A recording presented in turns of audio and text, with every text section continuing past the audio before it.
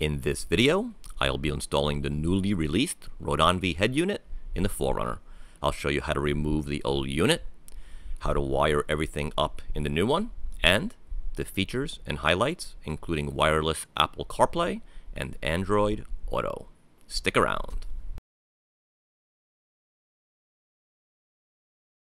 We have the unit all installed and I've been playing with it for the last day, trying a lot of little things out.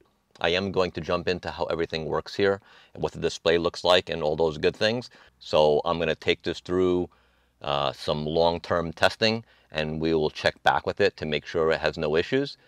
I know other head units in that price range uh, have had some kind of bugs or issues. Um, as of right now, using it for the last couple hours, uh, I actually took it on a, a, long drive this morning and I was testing it out and I really haven't come across any issues that I was hearing about on other videos that I've seen. So um, my initial impression is this looks like the Desata or the Saita head unit that I've seen some videos on. I can see by the layout of it and I've watched some of the videos on the wiring of it and I believe that the wiring is a little bit different on this unit. Also, the interface is different on this unit. After reaching out to Roadanvi about the differences between their unit and the Desata, this is the information they provided to me. Though the appearance is the same, the internals are indeed different. It's got a super crisp screen uh, when it comes to the videos, when it comes to the whole interface and the apps and everything like that. I'm thoroughly impressed with that. It looks factory. I actually opted to go with the satin black because I may be changing the color on these side trim pieces to black as well. I kind of wanted a change from the silver. I did not like the way the silver looked. Um, but this is night and day difference between the OEM head unit and this head unit. Now, if it continues to operate the way it has been, as I've been playing with it and using it, then I will be even that much more impressed. So let's get into how it looks, how it boots up. I'm going to see if I can change the camera angle and get a better idea of the quality of the screen, um, I'm going to show you how it connects to my phone and a few other little features of this unit. I'm hoping this picks up the details of the unit. So I'm going to go ahead and put the key in the on position. I have my phone here. Um, Bluetooth is on and it will automatically connect to my phone through the auto link. So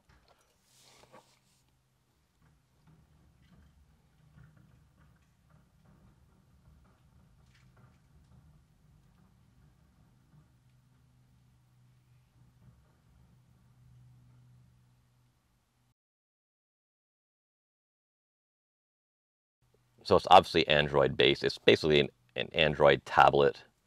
So here's the, the basic interface. Right now it's going to connect automatically to my phone. So it's wireless. I'm an Android guy. I'm not an Apple guy. My daughter is an Apple person and we used her phone already. Um, we did the Apple CarPlay and it worked. I've never used it before, but she said it was working great. This connects automatically also to the Android as it does to the Apple CarPlay. So everything is wireless. Um, it connects seamlessly and pretty quickly. I put my little apps over here on the side screen. This is my Spotify, which I listen to mostly. Sometimes I listen to the radio, but if I touch that, it'll be a big display for my Spotify here. And then my, I use Waze maps instead of uh, some of the other ones. So I put my Waze there. And then if I go back to my Spotify here, this goes to all my Spotify library. So I can choose anything here. We'll do country favorites and we'll do any kind of song here. So um, it's pretty seamless. It connects quickly and it's not going to pick up on this, but the quality of the sound over the OEM unit is, is very noticeable. It's a lot crisper. It's a lot cleaner. The bass hits a little bit harder. The treble and the mid-range sound a lot nicer. And you have a lot of other adjustments. I think this has a built-in amplifier. I'm not 100% sure, but it sure sounds like it does. So I'm going to lower this down. Actually, we'll pause that. So if I want to go back to maps, if I want to switch this around again, I'll just hit that. It'll swap it back around. It'll put my Spotify here and the maps over here. And then I can, now watch, when I hit the search bar here, it'll actually, I'm going to split my phone here. Hold on. hopefully this shows. So when I hit the search bar here, you'll see it pull up on my phone. So it says Android Auto, and then I can either type in up here or I can type in over here uh, some kind of address. So I'll just put in Home Depot. And then I'll put all the Home Depots around here. So if we go to Home Depot here, I can hit go. Looks like you're my ride. Not sure if you've got experience saving the galaxy, but you're about to get some. Let's go. So I can take the I can take the the navigation through Waze, and it'll automatically go through the the data on my phone. I don't need a Wi-Fi or anything like that. One of the features also I love about this is I love these knobs. I hate having a purely digital flat radio. So if I want to mute it, I just press that button, mute. But I love to I love to be able to control it manually and to scan the radio stations manually. All right, so you can change your apps right here any way you want. These are the ones that I want. This is this microphone I love because you just hit it. And I'll give you an example. I'm going to text my wife through voice. Text Juliana. Juliana, sure. What's the message? Testing the hands-free text messaging from the new head unit. I got. Testing the hands-free text messaging from the new head unit. Ready to send it? Yes. Sending your message. So this is one thing that I love about this unit is that is I can do the hands-free text messaging, I, and you can pretty much do hands-free anything with that microphone. Um, you can do the calling, you can do anything that you want. Hopefully she'll respond back and you'll see the notification will actually pop up here on the side. This little button, oh, she did respond back. So that's a message, let's see. Awesome, I got it, it works. Do you want to reply? No. Okay, so that's Okay so that's another cool thing is that I got the notification and everything worked as it should there. This button on the bottom left will actually pull up um, all my apps from my phone. Not my apps. It'll pull up some of the things from my phone that I can use and then put on this side if I wanted to use that. So if I wanted maps instead of Waze, I can actually swap that out, but I like the Waze there. So if you hit the home screen, the music here is the hard drive music. So if you had a flash drive and you plugged it into one of those USB ports, which I have tucked behind the head unit right now, but I can route them anywhere I really wanted to. But if I put it in a drive and I uploaded music to here, it would come in here. So they, they preloaded it. They preloaded it with Hotel California coming digitally from here. And it sounds really great. So if I pause that, we hit the back button, we can hit the radio. I have pre-station the radio. I can hit the, I have my presets all in here. It responds super fast. You can also, instead of turning the dial, you can use your finger and kind of drag the stations around. If you go back to the home page, you can hit navigation. That'll be their navigation screen. Um, I'm not going to use it, but if you needed to use it, you have another option for navigation here. So let's go back to the home screen. I'm going to quit that. Um, if you swipe to the left, you'll have some of the things that are programmed in already. If I needed to connect them to the phone, I'd hit auto link and put in the input for that phone, or I can go through Bluetooth also over here. Um, this is the equalizer, which I thought was pretty cool. You have all these options right here, and I was kind of playing with them. Uh, a bunch of equalizer options, and I played with the bass a little bit here. I like to tweak the bass sometimes when I listen to my rap music. And let's see, I'm going to go back one more, and you can hit, let's see, on the balance, right there, you can uh, fade, fade in, fade out, left to right. So that worked very well. We'll go back again, and then that's it for this one. But there's a bunch of other stuff here. This is for um, AV in, which I have not used. Video, so if I want to go to video, it's this button right here, and they have a pre-programmed video. You can kind of see how crisp. You can, I'll put it a little bit louder so you can hear it too. I don't know if the camera's going to pick up on how unbelievably beautiful this is, um, but it's super crisp. The colors are amazing. So video I think would look very good on here. Bass sounds wonderful. So I'll just lower that down. Uh, so you can upload videos and whatever else you want on here as well. It's got a huge 128 gigabyte hard drive for a head unit, which is pretty impressive. Um, on the bottom right here are the apps. So you can add the apps that you wanted to. So these are the apps that come with it, the first two pages.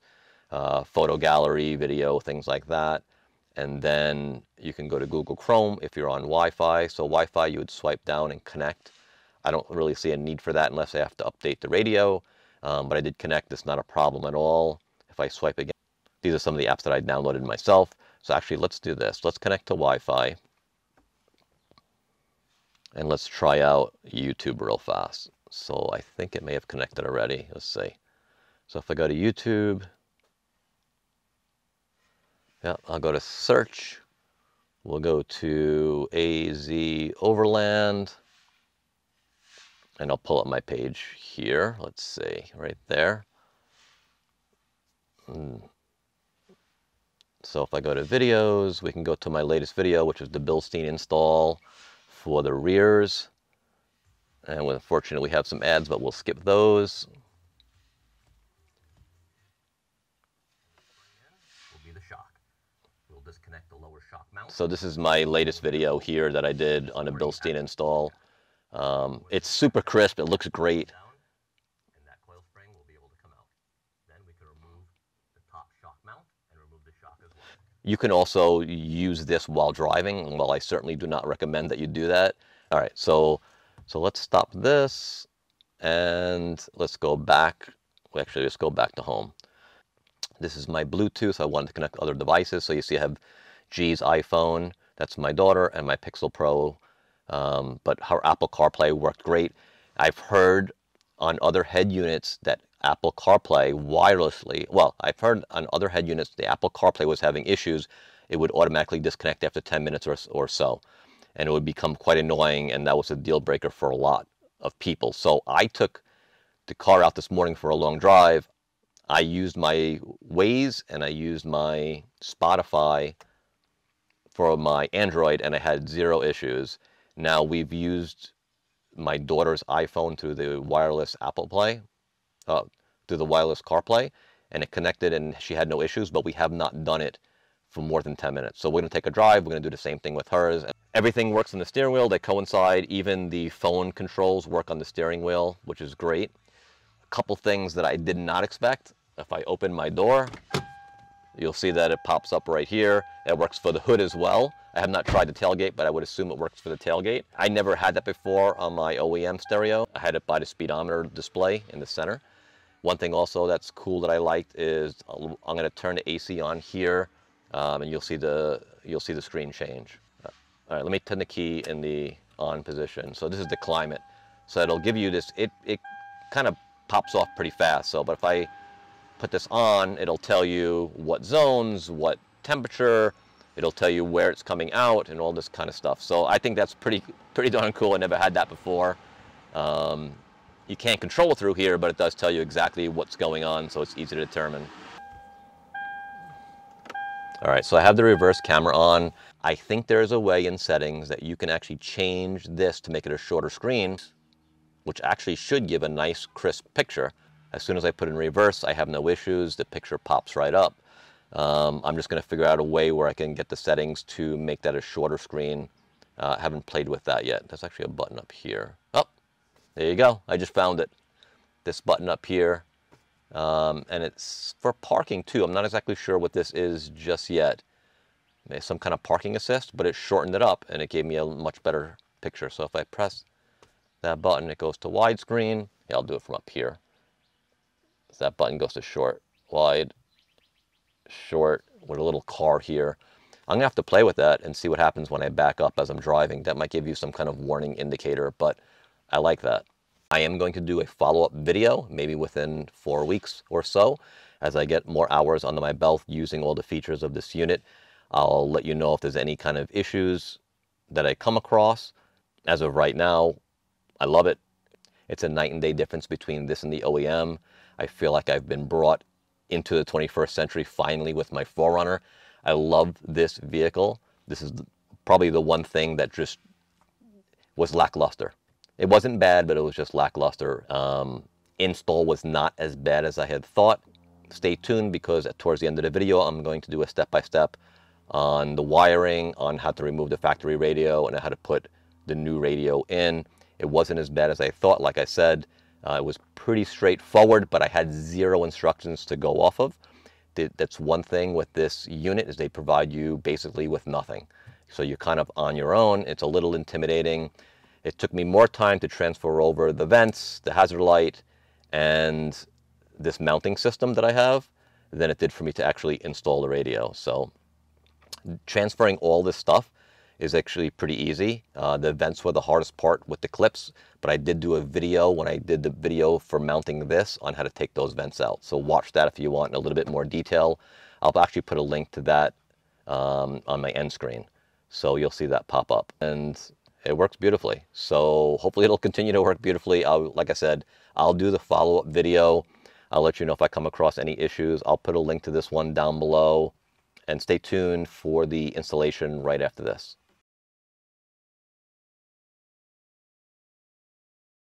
So this is a Roadanvi head unit specifically made for 2014 through 2019 4Runners. They retail for about $560. Like I said, this was sent to me to try out. I guess it's just released to the market. Um, the whole trim package and the radio, everything is integrated just as you see it. It comes as a package. This is the black. It also comes in silver trim. Their instructions are pretty much non-existent. This is, this is the extent of the instructions is this little diagram here with some basic idea of what the cables are. And then a little tiny pictures of step by step, everything of which we've done already with the exception of wiring, and they don't go into great detail about the wiring here. We're gonna try to figure and make sense of all these wires and see if we can get this thing to work. First step is to remove the two side trim pieces, and these will just pull right out. They can be difficult to get behind, you can use a, a trim removal tool.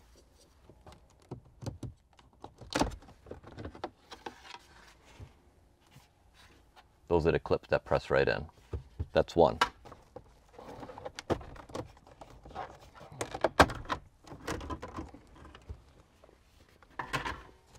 The next step is to remove the whole piece with the three knobs, and that will also pull right out.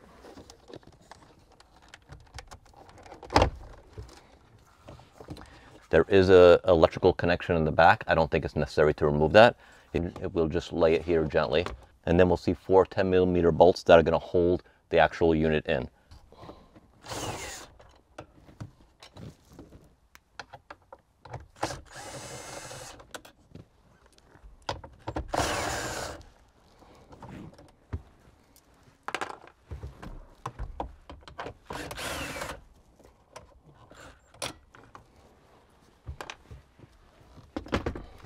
With those four bolts out, we'll go ahead and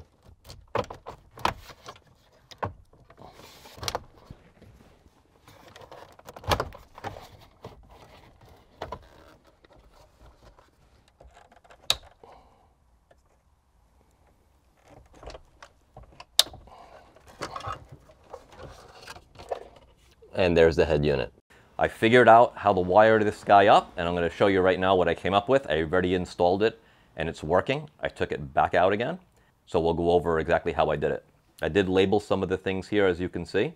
I have the mic, USB 2, the USB 3 on the outside, and in the center of that is the SIM card. This is the main wire harness that we're going to use. And believe it or not, there's only one connection for the back of the head unit. With the main wire harness, we're going to bring this over and connect it right here.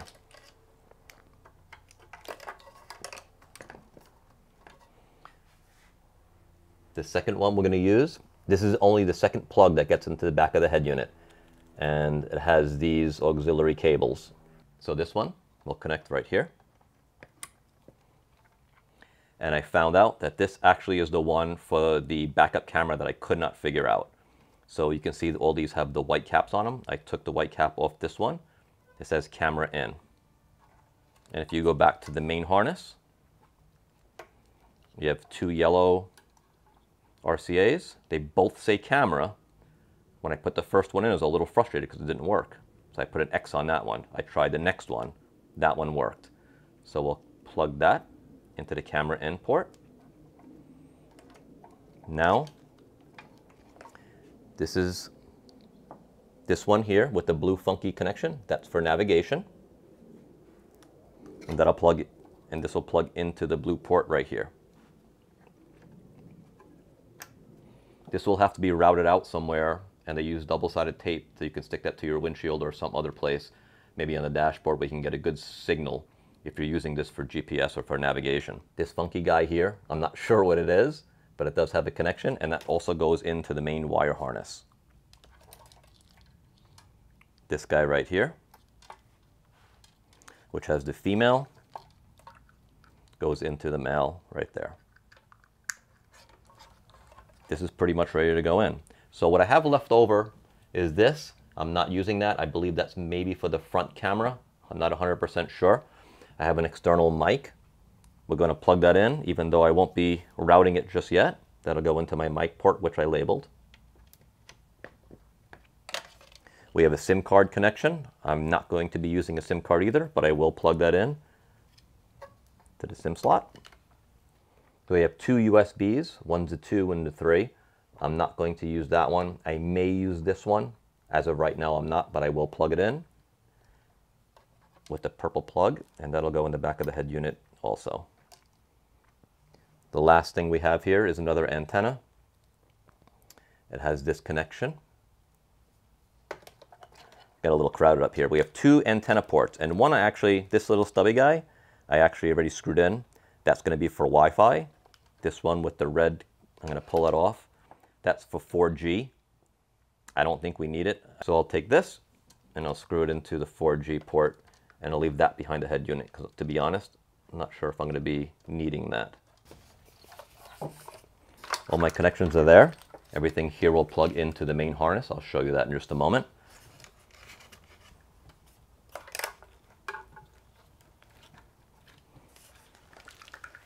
And we're pretty much ready to install that. Before we do that, we need to take everything off the original head unit and transfer it over to here. And that's going to include two vents, your hazard button,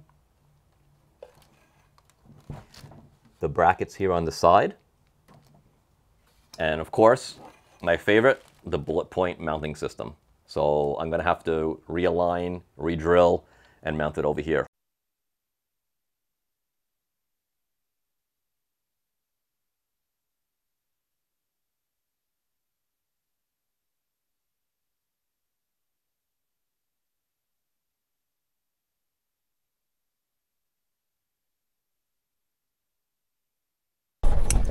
There's only two wires, which is this one.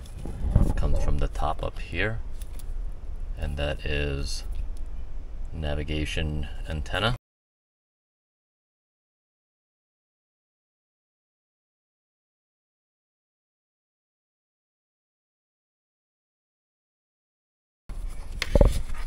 And this gray one right here which is also uh, either a mic or an antenna for something. Other than that, everything else is connected from the factory harness, and we're ready to put this in. Thank you so much for watching. Hopefully you found some of this information useful. I will be doing follow-up videos on this head unit to ensure that everything is still working properly and as it should be. I'll leave a link to this one in the description below and in the comments as well. If you can give the video a thumbs up, it would be greatly appreciated. And thank you so much for tuning in, and we'll see you on the next one.